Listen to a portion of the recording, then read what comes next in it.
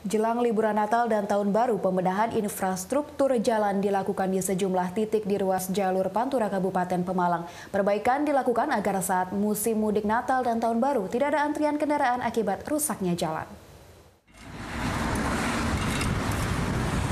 Hujan yang terus mengguyur Pantura sejak sepekan terakhir membuat jalan Pantura rusak.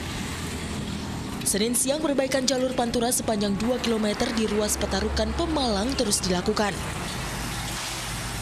Para pekerja menambal lubang di jalur Jakarta arah Semarang. Selain tambal menambal jalan, pengaspalan lapisan beton juga dilakukan. Nah, sebelumnya kita sudah menangani seperti ini.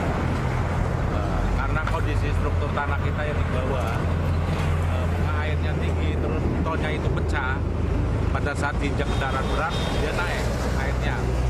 Terjadi, akhirnya yang terjadi kerusakan aspalnya, lapisannya. Kita upayakannya yang terbaik nanti sebelum tahun baru ini tetap Perbaikan jalur Pantura ini dilakukan rutin agar pengguna jalan nyaman saat melintas, apalagi menyambut musim arus mudik Natal dan Tahun Baru.